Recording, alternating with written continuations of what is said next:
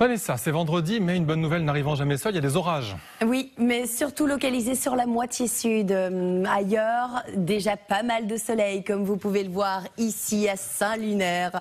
Ah, on est bien, hein, en Ille-et-Vilaine. Vous garderez le soleil tout au long de la journée, c'est promis. C'est vraiment une France coupée en deux, comme vous le voyez sur cette carte.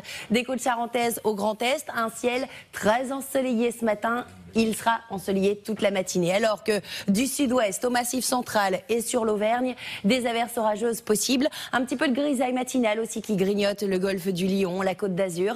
Cet après-midi, ces averses orageuses se concentreront surtout entre le massif central et les Alpes. Coup de tonnerre possible aussi sur l'ouest des Pyrénées.